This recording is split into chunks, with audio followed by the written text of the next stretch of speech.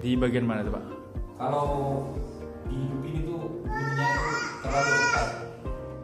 keluhan RPM tinggi tadi RPM tinggi sampai 2000 gak mau turun-turun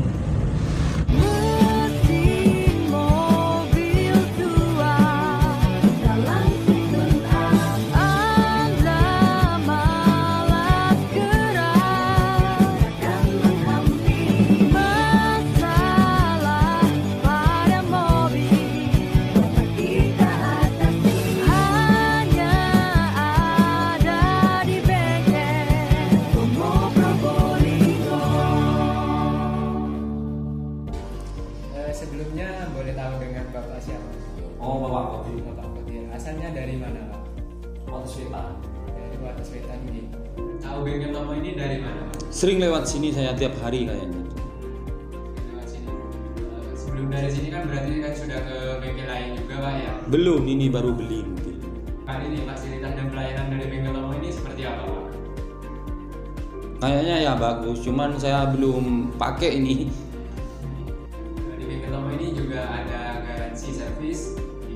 Ambil paket servis dari 3 bulan sampai 6 bulan, Pak. Jadi semisal Bapak ambil paket servis juga dapat garansi gitu, Pak. Oh, iya. juga ada layanan di luar bengkel eh, pick up service dan mobil derek Pak. jadi semisal bapak tidak punya waktu ke bengkel bisa hubungi kami untuk mekanik kami yang ambil ke bengkel ke rumah bapak seperti itu oh seumpama ada kemacetan di rumah, di jalan itu. iya kalau di jalan bisa juga.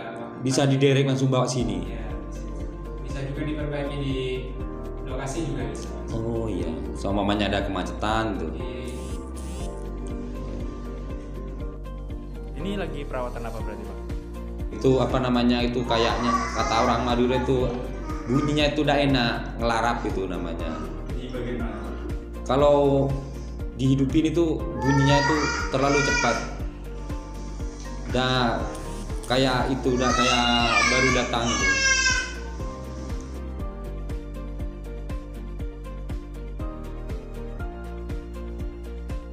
Keluhan RPM tinggi tadi RPM tinggi sampai 2000 gak mau turun-turun Eh, dilakukanlah tune up sembuh Ini katanya baru dapat mobil ya? oh iya baru dapat katanya Terus kalau orang baru dapat mobil ya, beli mobil bekas ya second.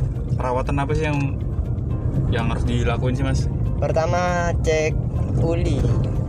Ulinya cek kapan terakhir ganti gitu. Pas oli kan, kan ah, oli gardan kalau transmisi kalau ada gardannya ah, oli gardan. Pas kilometernya kilometer kan ada biasanya buku perawatan olinya itu. Kalau nggak ada ya sa- disarankan ganti oli dulu. Oli terlebih dahulu dan untuk mesin lakukan tune up. Dengan tune up itu kita bisa ngecek apa aja yang butuh diganti atau di diperbaiki. Gitu. Itu- kalau bagus ya gak ada cuma kita mengecek aja. Cek dan penyetelan. Itu kan dari mesin ya. Kalau misalkan dari sistem pendingin bagaimana? Yang dicek mas? Ya, sama sama aja kita kan ada tesnya tes kebocoran radiator. Eh, radiatornya buntu apa tidak tutupnya bagus apa tidak gitu. Gitu. Dari mesin berarti sistem pendingin. Sekarang kaki-kaki Kaki-kaki.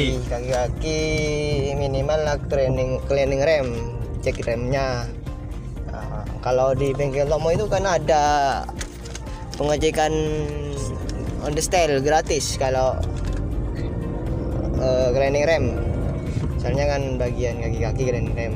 Jadinya dicek sekalian apa aja yang harus perlu diperbaiki kaki-kakinya gitu. Gratis itu pengecekannya. Kalau melakukan tune up?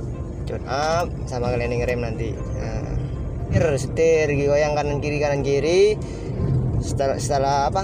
Eh, setelah agak cepat kalau bunyi cetek cetek itu cetek itu udah pasti ada kerusakan entah di bagian terot, long terot atau rek setirnya yang kocak gitu.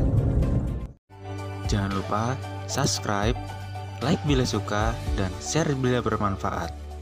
Follow juga akun sosial media kami, Instagram, Facebook, dan juga download aplikasi Gotomo. Dan mudah untuk menghubungi kami untuk layanan booking service, derek, ataupun konsultasi. Bengkel Tomo, bengkel pilihan orang cerdas.